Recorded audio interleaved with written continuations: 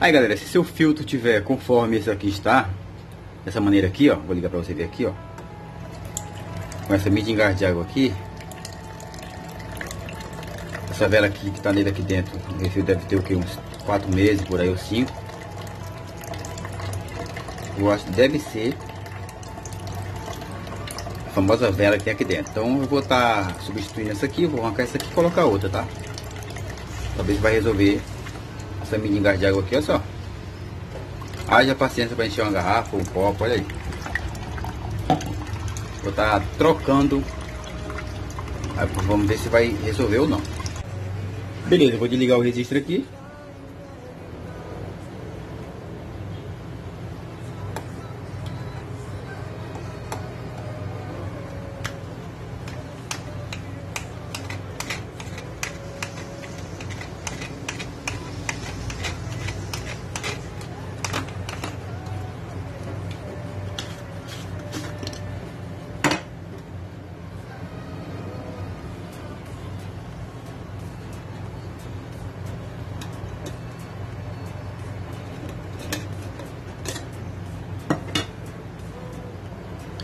Galera, olha só como é que tá aqui dentro.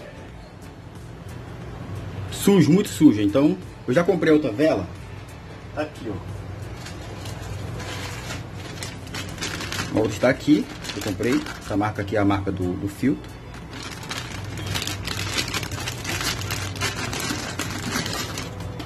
Olha a diferença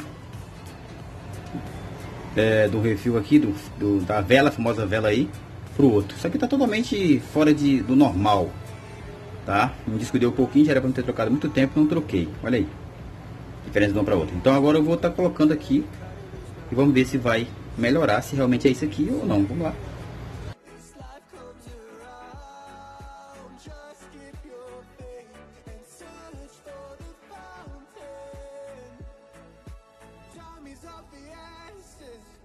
running through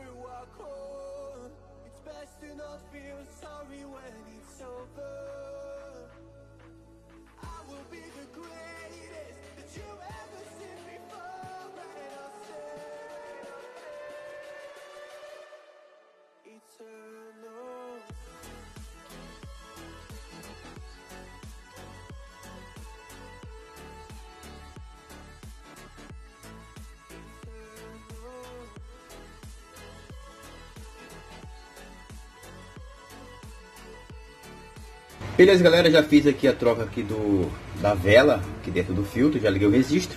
Agora vamos fazer a, o teste aqui para ver se melhorou ou não a potência da água aqui do filtro, tá gente? Ligando aqui.